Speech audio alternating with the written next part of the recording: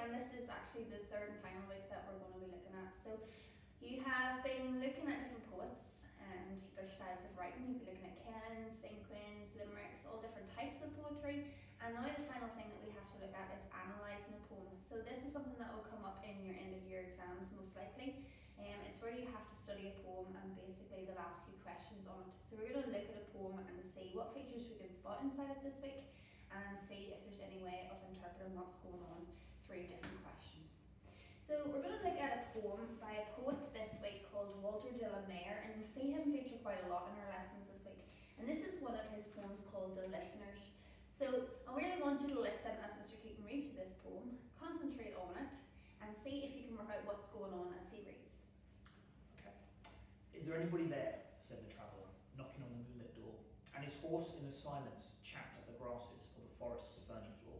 And a bird flew up out of the turret above the traveller's head, and he smote upon the door again a second time. Is there anybody there? he said. But no one descended to the traveller, no head from the leaf fringed sill, leaned over and looked into his grey eyes where he stood perplexed and still. But only a host of phantom listeners that dwelt in the lone house then stood listening in the quiet of the moonlight to that voice from the world of men, stood thronging the faint moonbeams on the dark stair that goes down to the empty hall, hearkening in the air stirred and shaken by the lonely traveller's call. And he felt in his heart their strangeness, their stillness answering his cry, while his horse moved, cropping the dark turf, neath the starred and leafy sky. For he suddenly smote on the door, even louder, and lifted his head. Tell me, tell them, I came, and no one answered. Then I kept my word, he said. Nevertheless, nevertheless, stir made the listeners. Though every word he spake fell echoing through the shadowiness of the still house from the one man left awake. Aye, they heard his foot upon the stirrup, and the sound of iron on stone, and how the silence surged softly backwards when the plunging hooves were gone. Oh, I like it. It's kind of eerie um, but it's quite difficult to understand. So let's explore it a little bit further. So here we have basically, we know there's a horse in the scene, we know there's a traveller in the scene. Okay? And the traveller turns up and he starts to knock on the door of a house. So let's see, Mr. Keating, is there anything find out about from the poem about what the house is like? Is there any descriptions there that help us imagine what it's looking like? Is there anybody there, said the traveller, knocking on the moonlit doors? It's night time the, the, the house is lit up by the moon. And his horse in the silence champed the grasses. So it's very quiet, silent, and the horse is eating the grass of the forest ferny floor. Oh, some alliteration there, the forest ferny floor. Know, yeah. um, and a bird flew out, flew up out of the turret. So that's a word you might have learned possibly in P3 or P4 when you were learning about castles. Oh, so it's not a standard house that we would live in. It's going to be most likely some sort of like a castle alien house. Is that correct? And that's the first clue, really, that makes you think mm-hmm. maybe this poem is set in the past. It's not a contemporary poem. That's right. And you've got the moonlit door above the traveller's head, and he smote upon the door. Now, that is not a word you hear very often. Smote means to knock or hit. So you can smote the door, or you can smote your sister with a big stick. um, he smote upon the door again a second time. Okay. Any other clues there? Yeah, so it's got this big solid door, it's got its turrets, it's a lone house, which means that it's way, way out on its own, somewhere in a forest. So there is like this mystical kind of uh, feeling going on. The moonlight makes it feel kind of magical, doesn't yeah, it? so it's definitely at night time, we know that. And even the imagery around the poem there is showing us the darkness. And you're right, the stillness.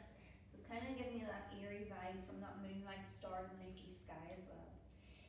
Think the traveller kept his word? So down here it says, Tell them I came and no one answered that I kept my word, he said. So he had made a promise to come back yeah. at some point. So he's being summoned there, but obviously the door's not being opened to him. So he's shouting in now and saying, Well, I did come, I did keep my promise. Maybe it took him a long time because he'd been travelling. And, and this is what the uh, poetry does it makes you think, and you're in your head. Much more to this poem than is written in the words. You're thinking, Where was he gone? Why did he come back? Mm-hmm. What, what's the mystery here? Yeah.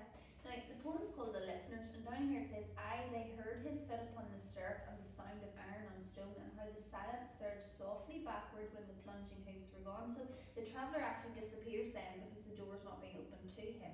So the listeners then we're assuming are the people who are inside the house, mm. refusing to listen to it. It says something here, look, it says about the phantom listeners. Only a host of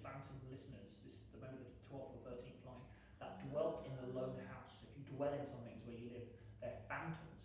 Phantom listeners. What's a phantom, Mr. Keating? Phantom would be another word for a ghost. Oh, so maybe it's a haunted castle. So perhaps this traveller lived in this castle originally.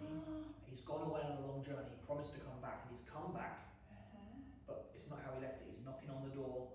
Um, there's no sound. Maybe there's ghosts or spirits listening to him. Yeah. There is lots going on in Mm.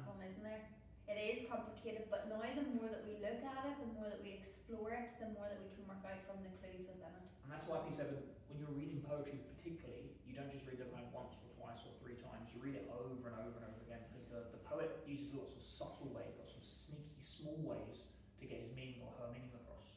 So you, when you read Phantom the first time, you might not think, oh, who's listening, who's not listening, but the more you read it, the more uh, it comes into your head.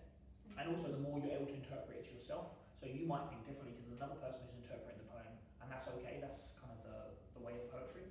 Yeah. So what we want you to do today is you're going to read the poem Someone and you're going to try and do the same thing that we have just done. You're going to try and analyse that poem, see if you can work out what it's about and give us some full sentence answers. So remember, full sentence answers where you try to reword the question as much as possible to give a full answer that if it's read on its own by somebody who has never come across your work before, they know exactly what you're talking Okay,